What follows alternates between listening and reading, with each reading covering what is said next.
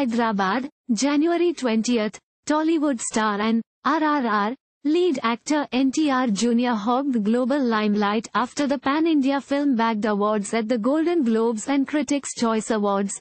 Now there is some more good news for the talented actor, as USA Today, an influential American website, has shortlisted NTR Jr. as one of the hottest contenders for Oscar 2023 for his performance in S.S. Rajamouli's magnum opus, RRR.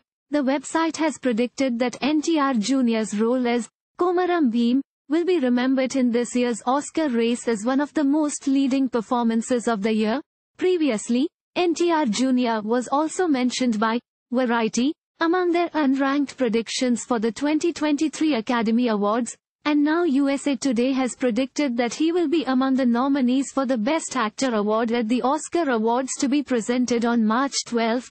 The outlook from USA Today has added to the overall sense of anticipation around RRR at the Academy Awards this year. On the career front, NTR Jr. will begin shooting for his upcoming film, NTR 30, which is directed by Koratala Siva of Janata Garage fame. The film will release in cinemas on April 5, 2024.